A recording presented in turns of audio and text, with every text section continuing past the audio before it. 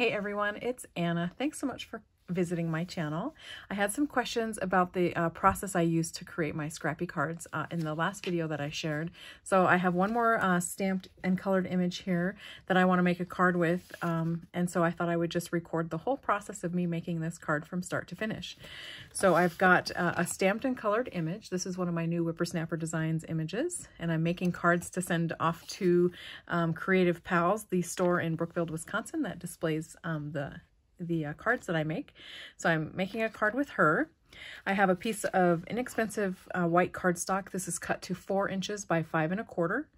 And you can um, either use that size or if you like to have you um, the primary focal point of your card to be like, for example, three and three quarters by five, you could start with that size. You just want it to be um, basically um, the size of your uh, patterned paper area on your card. So I'm going to start with four by five and a quarter. And then I have a mat cut as well, which is cut to four and an eighth by five and three eighths. So it's just going to be a mat to this uh, layer here. Okay. And then I have a cardstock um, base. Uh, so this is the color that I've chosen and I've scored it here in the center. So when I fold it, it'll be an A2 size card. And then I have chosen some pattern paper. Now, my previous videos, I talked about using scraps from your scrap bin, um, which would be like these, for example. Um, I keep this patriotic paper um, all together in one kit, so when I cut scraps, I just put it right back in this little bag. Um, so I actually have some scraps in here that I'm going to use for this card.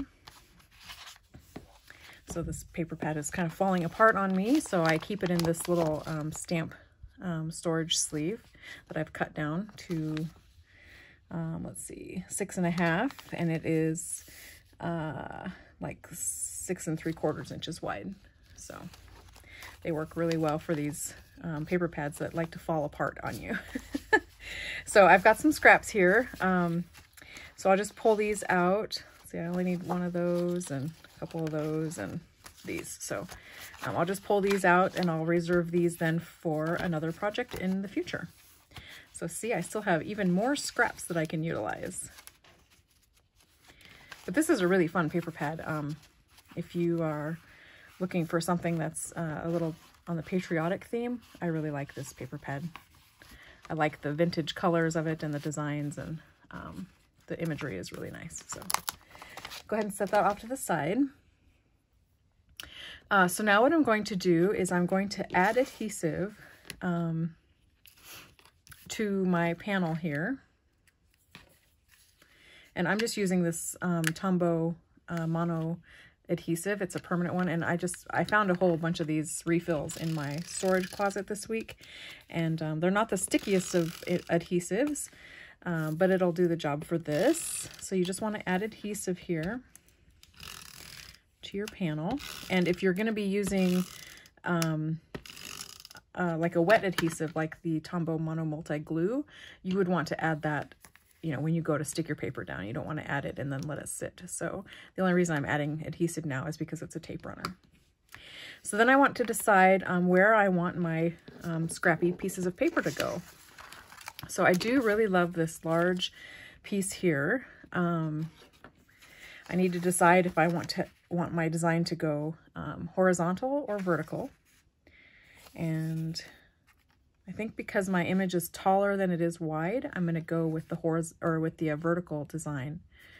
So I'm going to go ahead and lay this down upside down and I'm going to take my adhesive and that way I can get a really good visual of where the edges of my um, cardstock are.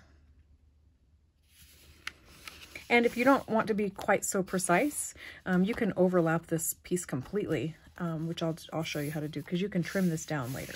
So stick that down nice and good. Then I have this piece as well. I really like the stripes. Um, I'm going to use the stars since those are both kind of busy patterns. I think I'm going to use the stars. Yeah. Um,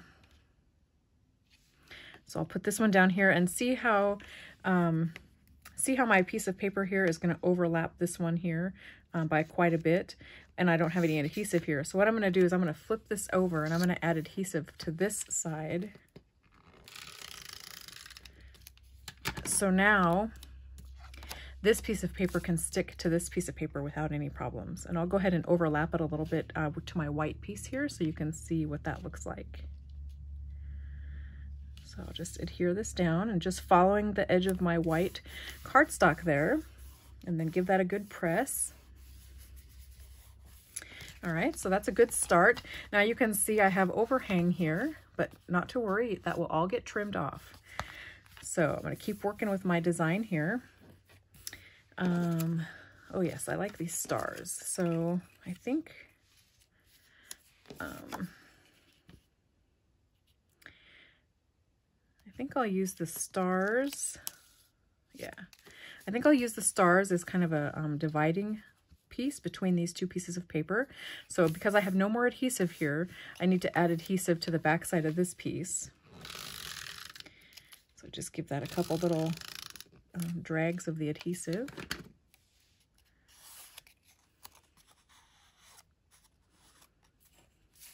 Okay. And now I'm going to adhere this down and I want to try and make it as straight as I can, but I'm not going to worry if it's not too straight. And I want to overlap those two pieces um, just so this piece of um, star paper is not uh, strictly down the center of my card, but off to the side a little bit. And you just get to play around with the design that you like. And then stick that down. Now I've got a couple pieces left over that I can use to decorate the inside or the back of my card. Or I can put them right back into my scrap bin. So now what I'm going to do is I am going to actually just use um, a straight edge to cut this. You could take it over to your paper cutter and trim it as well. I'm just going to use my straight edge here. Actually, I think I'm going to run over to my paper trimmer. I've got a piece here that's overhanging really, really slightly, and my paper trimmer will do a better job of cutting that off. So I'll be right back.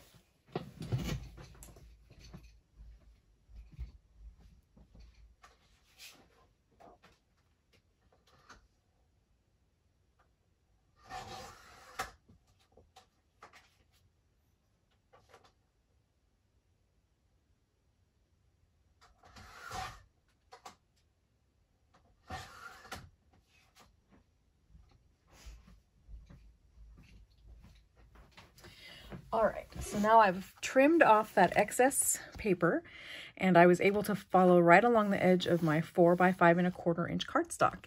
And so uh, everything is trimmed in really nicely. So now what I'm gonna do is I'm gonna add some faux stitching using my tracing wheel. Just give that a little zip there. And there. And there.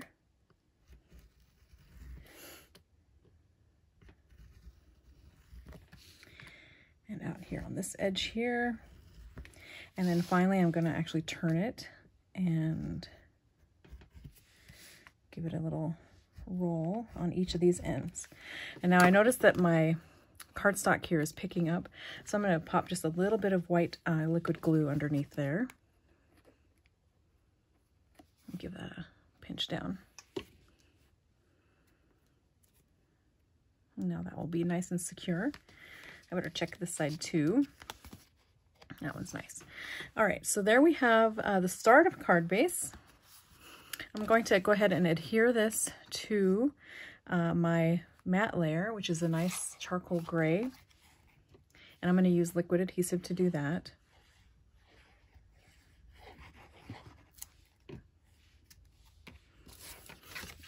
And I like to pick it up when I do this so I can really see the edges nicely.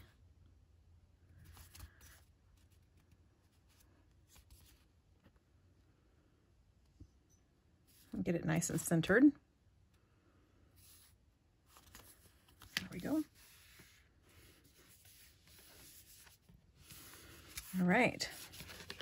So now we have that piece. Now I can add some faux stitching to my um, little uh, colored panel here. So just a real quick zip up the sides. And I could have die cut this with a um,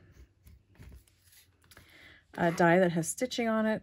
Um, but sometimes when I'm just making quick cards like this, I just find that the um, tracing wheel is a faster way of adding um, details to the stamped uh, stamped image. So now I'm going to go ahead and adhere her in place. And you can get creative with your layout too. I just kind of like to keep things simple. Um,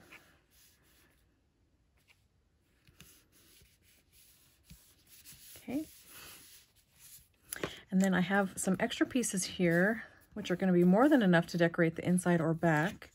So I think what I'm going to do is add a little piece um, out here just to give this uh, card base a little bit more interest.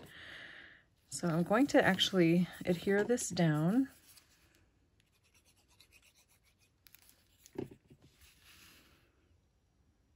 Right there. Make sure it's nice and straight.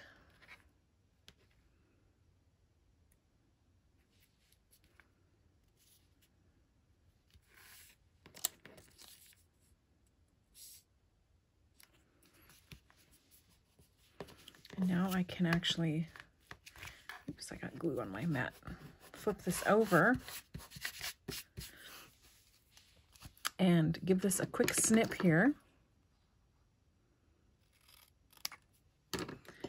And adhere this piece in place as well.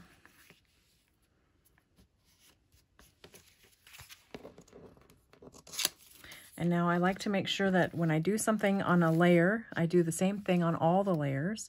So I'm going to give this a quick uh, bit of faux stitching too. Just like that. And I think I have, um, yeah, I have some stars here. So I'm going to add, um, instead of a button, I think I'll add a star. So let's see. See, I have another tray full of stuff here. little hearts from Joanne. These are little die cuts from Gabby. little ribbon ends. So I just need to decide um, what star I like. I kind of like that silver one, the smaller one. I think I'll use that. And these are not self-adhesive, um, so I need to add some adhesive to my card before sticking this down. So I'm going to use some hot, excuse me, hot glue. Just a little dabble do ya. And then I'll drop that star right in place there and give it a quick little press.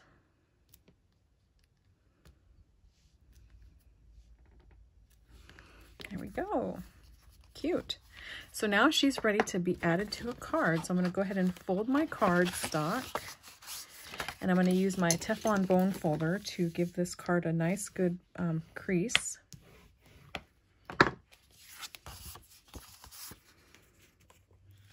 I'm going to add some white adhesive here to my card.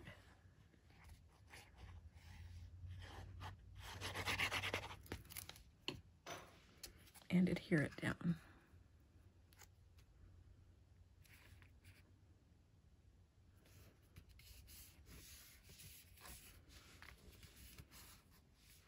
So hopefully that helps you see how I use that white piece of cardstock as kind of a backing to my scrappy pieces of paper.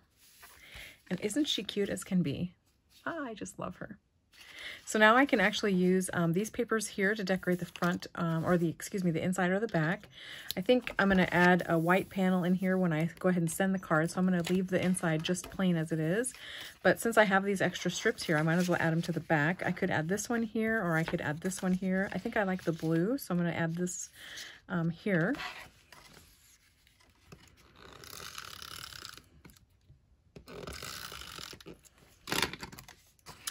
Just like that. And then I can always trim off the excess as well. So I don't have to start with it perfectly the right size. I can always make it the right size. Oops, as long as I stick it down in the right spot. go this way.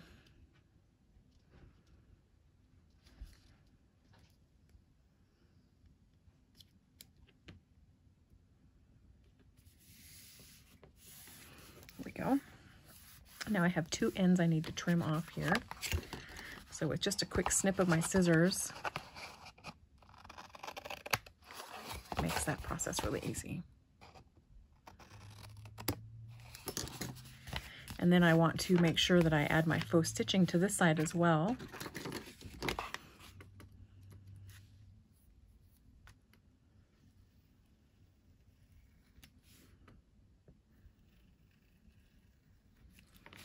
And then along the edges too. And then I'll be able to add my um, hand stamped by Anna or handmade by Anna stamp. Add a sentiment panel on the inside and send this off to a crafty friend. So let me go ahead and show you a couple of the other cards I made using the same process. You haven't seen these ones yet.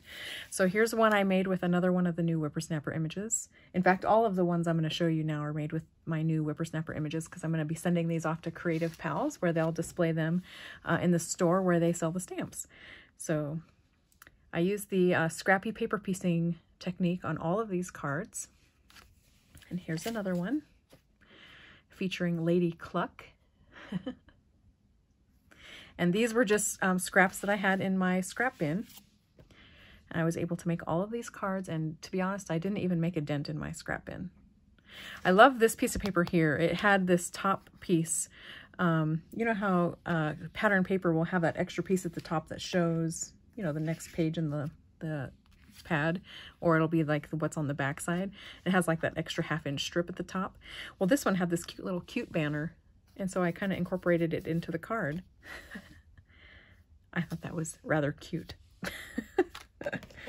um, then there's this card as well.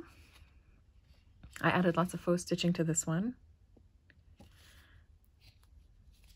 And then the last one I have to share with you is this one here.